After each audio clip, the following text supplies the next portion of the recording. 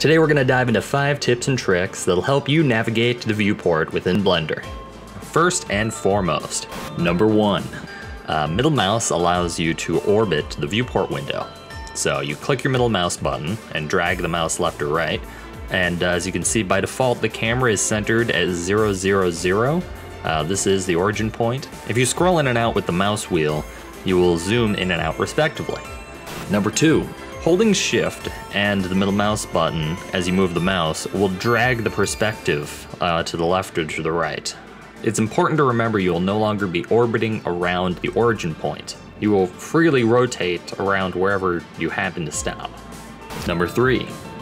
You can quickly return back to any selected object by pressing the period button on the numpad. Number 4. The number pad can also be used to quickly access orthographic views. Pressing 1, 3, 7, and 9 will give you front, side, top, and bottom views. Once again, you can hold shift to drag the viewport window.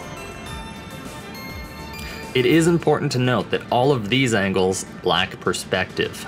This is because they're orthographic views.